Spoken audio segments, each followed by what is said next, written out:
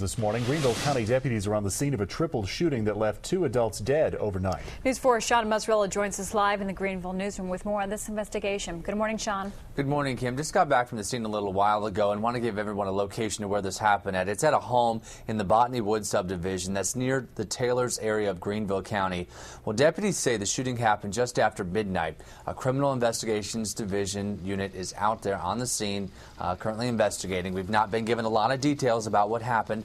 All we have been told is that two people were found dead inside that home that you just see right there, and a third person was taken to the hospital. At this point, investigators say the community does not appear to be in danger and that this was an isolated incident. We're going to continue to follow this story throughout the day and bring you updates on air and online at WYFF4.com.